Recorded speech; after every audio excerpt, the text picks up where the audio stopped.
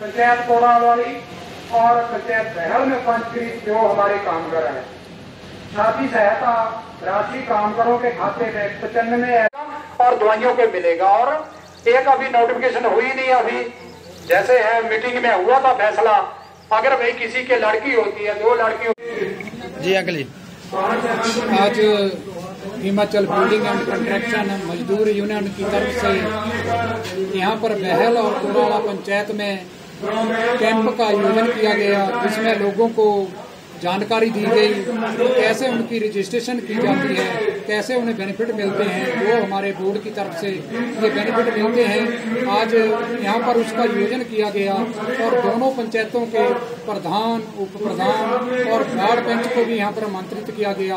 और जितने भी जितने भी वर्कर हैं सभी वर्करों को यहाँ पर बुलाकर उन्हें जागरूकता कैंप में योजन किया गया, उन्हें बताया गया कि आपको कैसे आपकी कापी नहीं बननी है और कैसे आपको रजिस्ट्रेशन होगी क्या बेनिफिट मिलने वाले हैं। जैसे इसमें बहुत से बेनिफिट हैं, जैसे इंडक्शन सोलर लैंप साइकिल चार कंबल dinner set hot tiffin water cooler ये बोर्ड की तरफ़ से दिया जाता है और दो बच्चों की शादी के ऊपर इक्यावन इक्यावन हज़ार रुपया दिया जाता है। बच्चों को स्कॉलरशिप दिया जाता है, जो पहली से आठवीं तक, चौरासी सौ लेकर, चौरासी सौ से लेकर, और डेढ़ लाख तक है, वो दिया जाता है। दो बच्चों की छाती के ऊपर इक्यावन इक्यावन हज़ार रुपया दिया जाता है।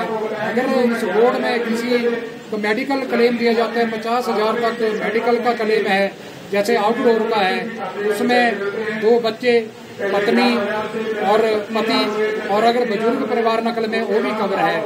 अगर कोई दाखिल हो जाता है चारों में से, इनमें से तो एक लाख तक का मेडिकल बिल साल में दे सकती है। अगर कोई डॉक्टर लिख देता है कि बड़ी बीमारी है मेजर है, किसी के ऊपर पाँच लाख या दस लाख लगना है तो उसे पाँच लाख तक के बिल लग सकते हैं। अगर जब इस कापी यहाँ पर किसी की कापी बन गई लास्ट में मैं रजिस्ट्रेशन हो गई तो, तो अगर किसी की डेथ हो गई तो उसे दो लाख बीस हज़ार रुपये नेचुरल डेथ मिलेगी अगर साठ साल के बाद उन्हें पेंशन मिलेगी जो पाँच सौ से हज़ार रुपया हो गई अगर काम के ऊपर शो हो जाए चार लाख बीस हज़ार मिलेगा। तो ऐसे जो रोड की फैसिलिटी है, इनके बारे में लोगों को जागरूक करना था, ताकि लोगों के घर द्वार में, यहाँ पर बहल में आज दफ्तर खोला गया।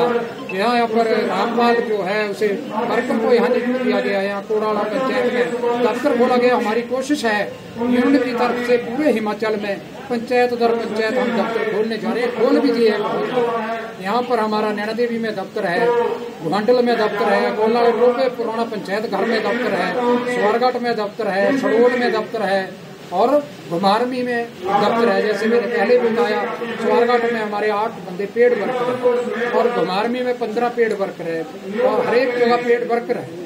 तो ये जो है, लोगों के भले के लिए हमारा मकसद यही है यूनिट का यही मकसद है, ताकि हम लोगों को ज़्यादा से ज़्यादा बेनिफिट दिला सकें, लोगों को मिल सके बोर्ड की गतिविधियों के बारे में बता सकें। जय जय जय